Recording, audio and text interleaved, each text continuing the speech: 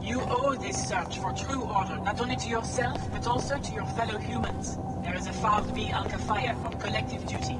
You are bound to search and bring the search to others so that all may reach deeper understandings and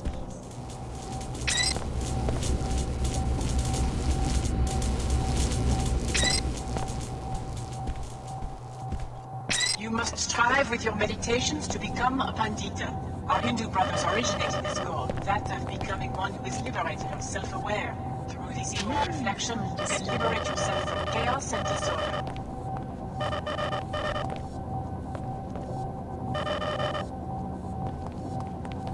Unlocking your sabr can also help you achieve greater order, as the Muslims before you who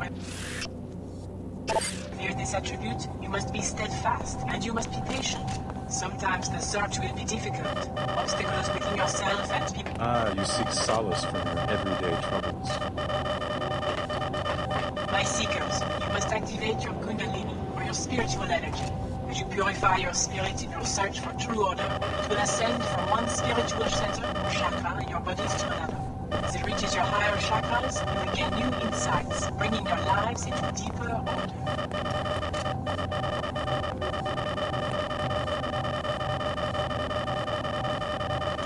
Must strive with your meditations. to Just who do you think you are? Our Hindu brothers originated this goal, that of becoming one who is liberated and self-aware. Through this inward reflection, you can liberate yourself from chaos and disorder.